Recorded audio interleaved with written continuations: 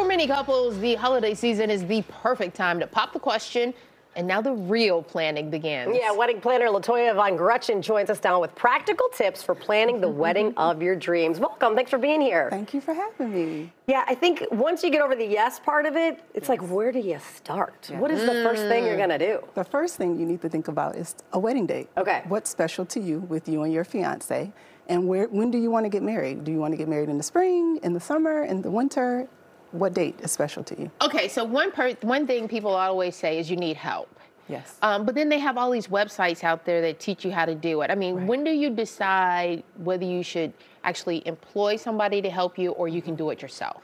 So my experience is is that you always should hire a professional. When you're getting married, you still have a life to live, and life will start lifing on you and get in the way. So you always want to make sure that your wedding is in the forefront. So you can either hire a full-time wedding planner that can do everything for you, and all you have to do is make the decisions, or you can be a DIY couple, plan it yourself, and then hire a coordinator that comes into Ah, the mix that's maybe smart. two to three months before. Okay. Because there's so, so many things I didn't know because we did Tanya and I both did smaller weddings, but Sure. I didn't even know like how much different charges are on different days. Like if you get married on a Friday versus a Saturday Yes. versus a Sunday. Yes, I imagine that's a big part. Budgeting is a big part of your job. For job. sure. So the average budget right now for 120 people to 150 people in the Midwest, big metropolitan city, is about $68,000. Holy moly. Are you kidding me? That's more than a down payment on a house in It some is. It cases. definitely is, but it's a celebration of Okay, love. So what I always tell all of my clients is yes, the internet is telling you that the average budget is about $35,000. Yes. But if you're in a big metropolitan area, it depends on the guest count, and you're not going to be able to do a wedding for about 35,000. It's definitely 68,000 and up. Now, don't get me oh. wrong, you can do things lower, but there are compromises that you have to make. Okay, and so where that. would you say people should start compromising? Well, it depends on the couple and what you're interested in. So it depends on the style of a wedding that you want. If you mm-hmm. want a wedding in a hotel type of a, a banquet style mm-hmm. wedding in a banquet room, mm-hmm. you need to make sure that you are willing to pay the $68,000 and up. Mm. If you are interested in doing anything different, then you can save money. Maybe you're doing it at a private residence, maybe you're doing it at a public park. Mm-hmm. There are some ways to be able to save money. It just depends on what you want. Okay, so you say after you set the budget, what's mm-hmm. next? After you set the budget, then you need to start looking for a venue. Okay. For sure. Kind of think about the guest count that you're looking to do, how big of a wedding, the style that you want, and then you can kind of hone in a perfect budget from there. Let me ask you this because we're talking about budgeting and number of people. So, what do you tell your clients? Say, um, okay, I need to cut down the number of people. Mm-hmm. How do they relay that to their family without hurting feelings?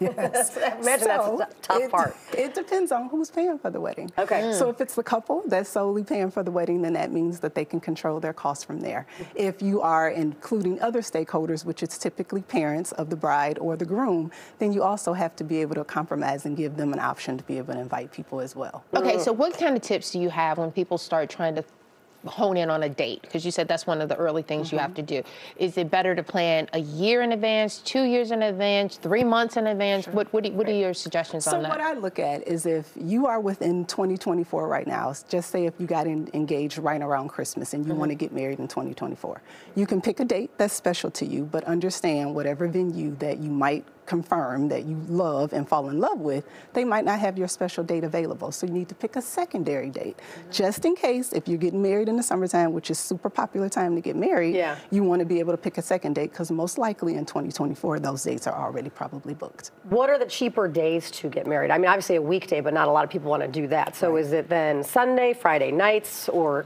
Fridays are cheaper than a Sunday. okay?